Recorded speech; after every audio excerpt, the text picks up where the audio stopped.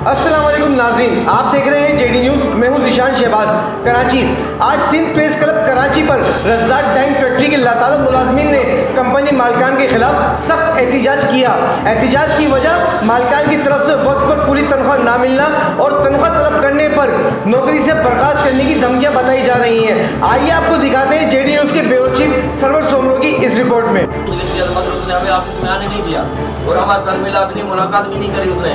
और उन लोगों को बोला तो जो ऑफ़िस में पेट्रोल देते इनको बोलो आज नहीं कल जाए, हमें रुलाता रहा है। दो तीन दिन चार दिन के बाद फिर हमें पेट्रोल आवे हमारे बोले इनको बोल फिर दोबारा आ जाए काफ़ी चक्कर लगाए मगर वो हमारे मिला नहीं अभी तक।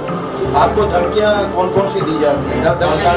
हाँ वहाँ से लोगों ने रखा हुआ है दहशत जो हमें डरा दे धमका दे जब बाढ़ में आता है घूमता करते हैं वो कहता है कि भाई आप काम करना करो नहीं करना जाओ चले जाओ और हमारे बंदों को भी धमकाता है कि किसी को से पकड़ के बाहर कर देते हैं वो पैसे भी बाहर बिठा के गेट पे देता है और कहता है कि अंदर नहीं आना बाहर बैठो तेरा कोई काम नहीं यहाँ पे। आपके कितने साथियों को निकाला गया? तीन चार साथी हमारे पाँच साथी हमारे जिनको इन लोगों ने निकाला काम पे भी नहीं रखे हो तो आपको क्या रशीद सोलंकी जो सेक्रेटरी है, उसके नाम की नाम की भी धमकी देते हैं कि वो हमारे साथ मिला हुआ है? हाँ हाँ जी जी रशीद सोलंकी के नाम पे हमें धमकी देते हैं कि वो हमारे साथ मिला हुआ है असफर रहमान मिला हुआ है। और बंदे हैं जो इनके साथ मिले हुए हैं, जो डायरेक्टर है या लेबर ऑफिसर सारे इनके साथ मिले हुए और हमारे साथ मुलाकात करी और उन लोगों ने हमें धमकाया, डराया। हम इसमें सेट किया ऑफ़िस में आए और बैठ के हमें धमकाया, डराया उन लोगों ने कि भाई आप लोग कुछ नहीं मिलेगा, आप लोग कोर्ट में जाओगे, ये करोगे, वो करोगे, कुछ नहीं मिलेगा आपको। इससे अच्छा है कि आप कैसे हाथ उठा लो, आप कुछ नहीं आप कितने मजदूर काम करते हैं? कम से कम मजदूर डेढ़ सौ दो सौ के करीब है वहाँ। अच्छा आप मीडिया के तवज्जो से वज़ीर आज़म वज़ीर अलावा दीगर आला काम को क्या कहना चाहिए मैं उनको ये कहना चाहता हूँ हम मजदूरों का तहफुज करें और मजदूर को हुक्म दिए जाए जो हमारे हुक्म वो दिए जाए हमें तनख्वाह दीजिए अच्छी जो हुकूमत ने ऐलान करा हुआ है उस हिसाब से हमें तनख्वाह दी जाए। हम कारीगर हैं हम चौदह हज़ार उठा रहे हैं और आम लेबर को दे रहे हैं साढ़े सात सत्रह हज़ार। तो हम कारीगर को कितनी होनी चाहिए उस हिसाब से हमारे को सैलरी दी चाहिए और हमारे जो जो भी मेहनत कश है भाई है उनका तहफुज होना चाहिए। और उनके लिए अच्छे से अच्छा दूर किया जाए उनके साथ जो कंपनी में काम कर रहे हैं उनके लिए अच्छा होना चाहिए। उनके लिए तहफुज होना चाहिए। हमारे भाइयों के लिए जो जो जो हमारे मजदूर हैं उनको अपना हुक्म दिया जाए। मशीन पर कोई जख्मी होता है तो फिर उसको कितना पैसा दिया जाता है? कोई भी पैसा नहीं दिया जाता उसको सिर्फ़ लेके जाते इलाज करते हैं उसका और फिर उसको घर भेज देते हैं। और कुछ भी नहीं मिलता उसको। कोई अपाज हो जाता है फिर भी उसको पैसा नहीं देते उसका इलाज करवाया बाद उसको घर भेज देते ठीक है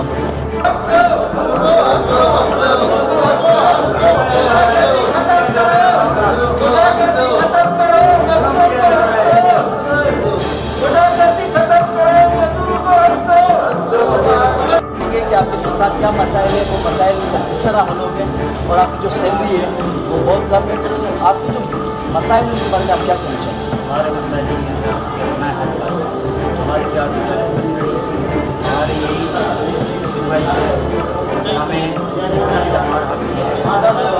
लॉकडाउन में चार चार घंटे के पैसे दिए गए आठ आठ घंटे के पैसे देने चाहिए लेकिन सब मजदूरों को चार चार घंटे के पैसे दिया ये हमारी गुजारिश है हमें आठ आठ घंटे हक है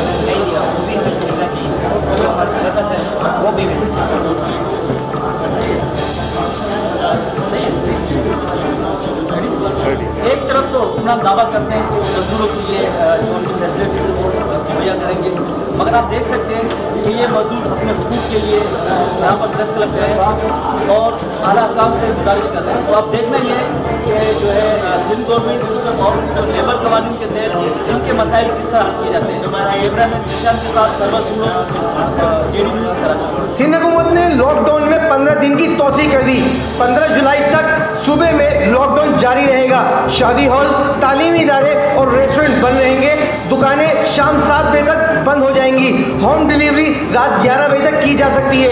महकमा दाखिला सिंध ने जारी कर दिया है। चक्कर, Sindh public service commission, excise section officer का इम्तहान पास करने वाले को ज्वाइंट ऑर्डर ना मिलने के खिलाफ उम्मीदवारों की जानिब से सक्कर प्रेस क्लब के सामने एहतजाज किया गया। एहतजाज के बाद प्रेस कॉन्फ्रेंस में अमजद अली, नईमुल्ला, हुसैन अहमद, खलील अहमद ने क्या गुफ्तु की? आइए आपको दिखाते हैं सैयद नसीर हुसैन जेरी की इस रिपोर्ट में। और वो जो एग्ज़ाम हुआ था, वो हुआ था अठारह, दो हज़ार अठारह के नवंबर में। हमने रिटर्न पास की, फिर और इंटरव्यू पास किया। बाद में जो हमारी रिकमेंडेशन आई थी, वो आई थी अक्टूबर 2019 में। और उससे लेकर आज तक जुलाई की आज फ़र्स्ट डेट है तकरीबन हमें नौ महीने हो चुके हैं, लेकिन एक्साइज डिपार्टमेंट वाले हमें ज्वाइनिंग नहीं दे रहे। हमने जो सिंध पब्लिक सर्विस कमीशन है, उन्होंने उनको रिकमेंडेशन भेजी थी, जो वो उनको रिकमेंडेशन मिली है नवंबर 2019 में। ये उनकी डेट लगी पड़ी हुई है। अक्टूबर 2019 में उनके रिकमेंडेशन दी हुई है। लेकिन उन्होंने अभी तक हमें ज्वाइनिंग नहीं दी। अच्छा पहले तो वो हमें ज्वाइनिंग नहीं दे रहे थे। फिर हमने मीडिया का मीडिया के थ्रू हमने जब आवाज़ अपनी उठाई तो हमें तीन महीने बाद ऑफ़र ऑर्डर दिए गए। लेकिन अभी हमने सारी फॉर्मेलिटीज़ जिसमें पुलिस वेरिफिकेशन है मेडिकल वगैरह वो सारी हमने जमा करवा दी है।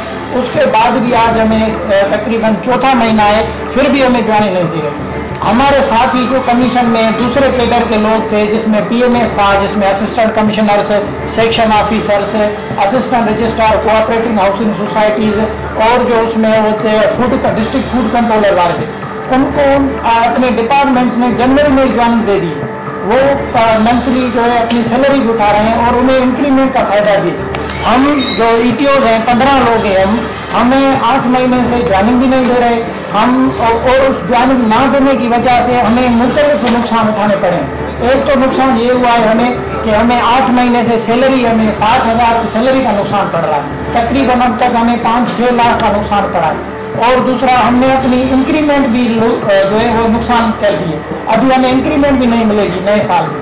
वो हमारे दोस्त इंक्रीमेंट भी ले रहे हैं। काफ़ी हमारे दोस्त गरीब हैं, बेचारे, वो मिडिल क्लास फैमिली से आए हुए हैं। लेकिन हमें आठ महीने कराची में सेक्रेटेड में दरबदरी मिल रही है ज्वाइनिंग नहीं दे रहे। इसी के साथ मुझे निशान शहबाज को इजाज़त दीजिए।